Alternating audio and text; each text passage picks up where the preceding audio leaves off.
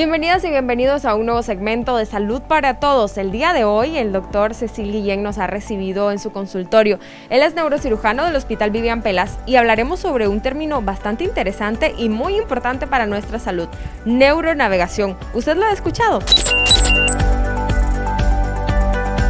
Doctor, gracias por recibirnos el día de hoy. Un placer. Buenos días, gracias a ustedes por, por esta visita.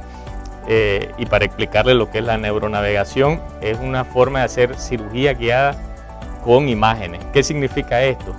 Eh, básicamente ocupamos una, una imagen del paciente previo a la cirugía, que puede ser una resonancia o una tomografía, lo cual nos va a servir de referencia durante la cirugía.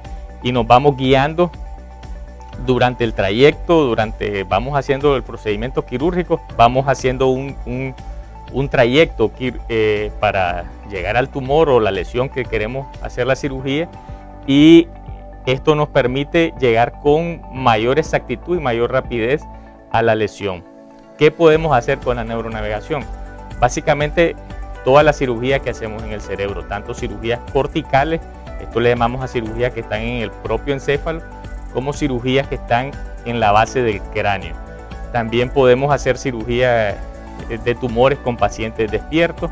Podemos hacer cirugía endoscópica, o sea, entramos por la nariz con, con este, con una cámara y nos vamos dirigiendo con, con, el neuronavegador o con esta cirugía que es guiada eh, por imágenes. ¿Esto qué nos permite la neuronavegación o qué avances le ha dado a la neurocirugía?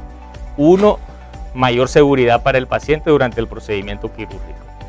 Dos, mayor rapidez en los procedimientos quirúrgicos, hacer heridas más pequeñas, reducimos la tasa de complicaciones durante de los procedimientos quirúrgicos, la estancia del paciente en el hospital se vuelve eh, más pequeña y por tanto los objetivos de, un procedimiento quirúrgico los logramos cumplir eh, a mayor cabalidad.